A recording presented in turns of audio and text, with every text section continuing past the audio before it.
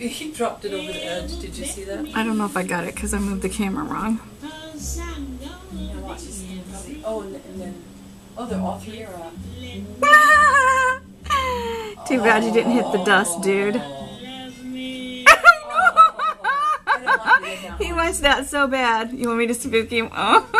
I'm gonna let him have it. Yeah, look at baby. Yeah, I gotta stop him, but it's too funny. He's like, the net's getting him. Oh, that's good. Oh, that's funny. Look at him, sweetie. I see him. I'm trying to pretend like I don't see him because I'm gonna have to kick his head when I go look at him.